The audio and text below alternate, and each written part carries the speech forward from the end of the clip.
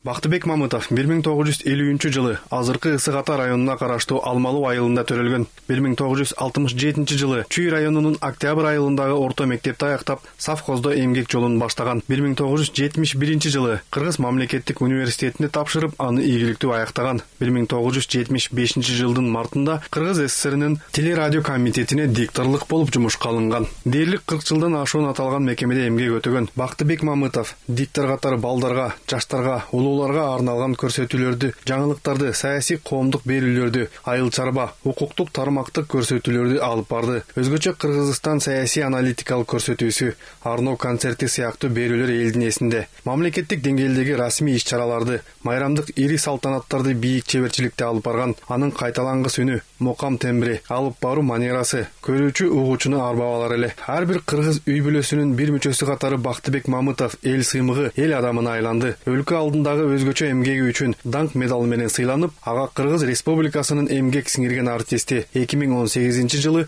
кыргыз республикасынын эл артисти наамдары ыйгарылган. Кыргыз теле берүүсүнө чоң салымын кошкон бактыбек мамытовдун элеси биздин жүрөгүбүздө түбөлүккө сакталат. Маркумдун туугандарына жана жакындарына терең кайгыруу менен көңүл айтабыз. Садыр жапаров талант мамытов акылбек жапаров жана башкалар